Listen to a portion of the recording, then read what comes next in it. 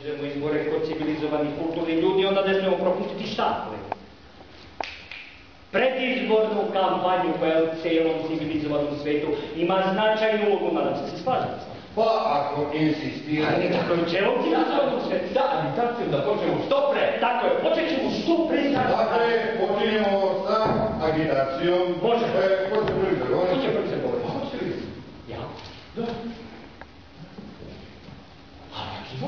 ne. Čekajte, čekajte, čekajte. Vidite, ja sam mislio na kraju da govorim. Nikad nisam bio dobar govornik, molim vas. Predložili rešenje. Pa jesam predložio sam rešenje, ali... Jeste da ne govore da politiziraju, pa zašto vi ne govorite? Pa, izvoli to. Ako već van mislite, Eto ja ću proći.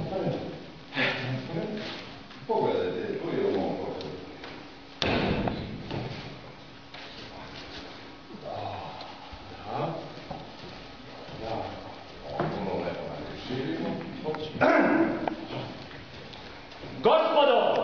Samo preduvema, mi smo obični ljudi. Dole sa slatko